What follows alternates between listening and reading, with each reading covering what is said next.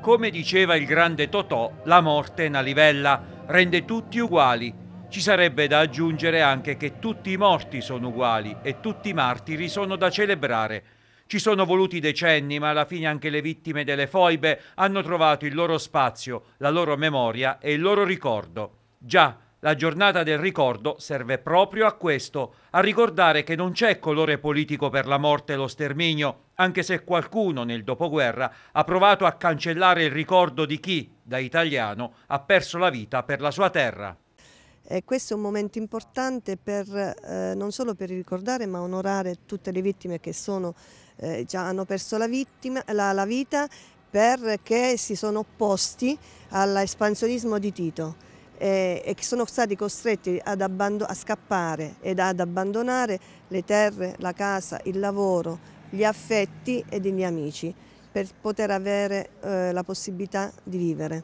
Quindi è un giorno importante, un giorno in cui riflettere e, stare, e continuare ad essere vicini alle famiglie di queste vittime. Io mi auguro che veramente dopo, anni, dopo tanti anni si, possa, eh, si sia già arrivato, arrivati a questo. Non ci possono essere eh, i morti di, di, appartenenza di una parte o di appartenenza dell'altra.